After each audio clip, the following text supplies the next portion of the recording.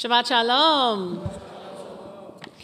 When we finish a unit of text study, it is traditional to proclaim Hadranalach, we will return to you. At the heart of this declaration is the personification of whatever unit of texts we are studying. We speak to the text that we leave behind, saying, We will return to you, and you will return to us. Our mind is on you, and your mind is on us. We will not forget you, and you will not forget us, not in this world and not in the world to come. Although this tradition is related to Talmud study, as we just finished the book of Exodus, this feels particularly relevant to Torah study as well. We will return to the stories of the Exodus again and again at our Seder tables and during our prayers when we meditate on what it is to be enslaved and what it means to be free. How does our freedom inform our responsibility to others? Who is in need of our strength? Who needs our care? Who is in need of our kindness? Who is in need of our empathy and compassion? There is a sacred call to answer. This week, we return to the book of Vayikra, Leviticus. Vayikra means, and he called. It begins, Vayikra el Moshe vayidaber Adonai elav. God called to Moses and spoke to him. The Torah is generally a very terse text. It doesn't use two words when it only needs one. And so the opening verse of Vayikra could have read, God said to Moses, but instead it reads first, God called Moses, and then God said to him.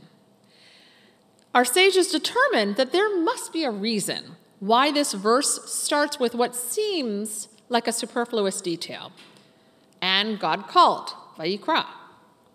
Furthermore, the word Vayikra is written on the Torah scroll in a mysterious way. The final letter Aleph of the word is written in tiny, tiny script, much smaller than the other letters. Aleph is a silent letter. It has no sound, but it is there. The letter Aleph is somewhat mystical it is an invitation to consider the world behind the world, the holy spark calling to us, Vayikra, from deep inside of ourselves.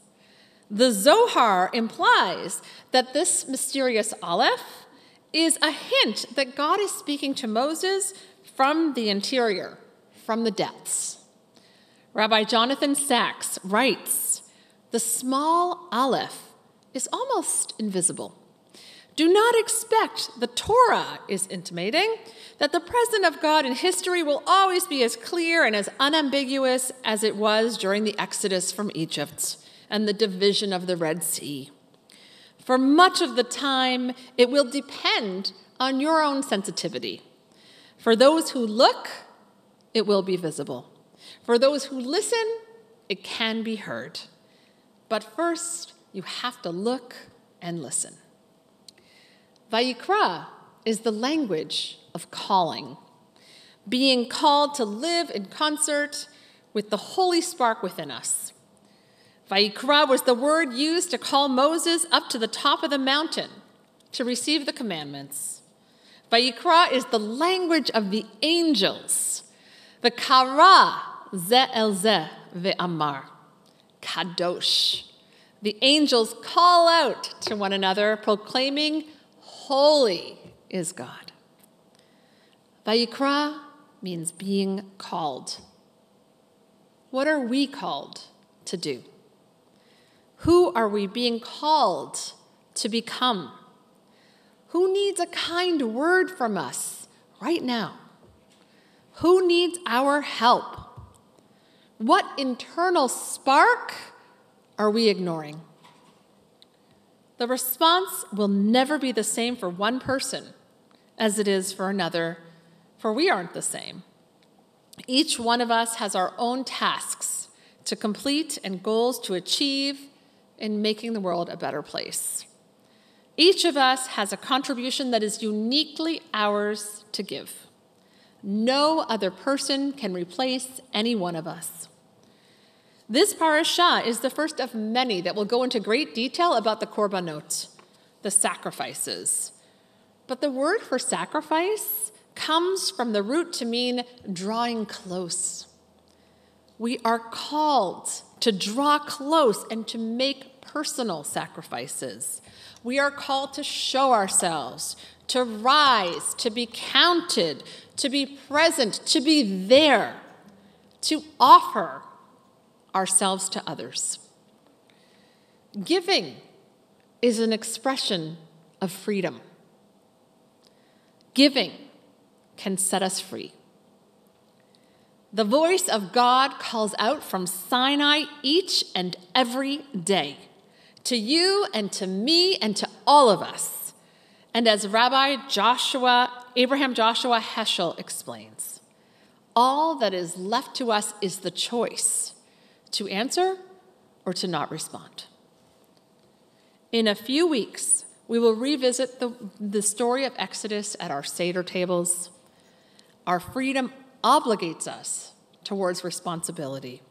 This central Jewish tenet is always in our hearts and minds. While we may have moved on to read the book of Leviticus, the Exodus story is always at the center of our Jewish consciousness. Hadranalach, we will return to you, and you will return to us. Our mind is on you, and your mind is on us. We will not forget you, and you will not forget us, not in this world, and not in the world to come. Shabbat Shalom.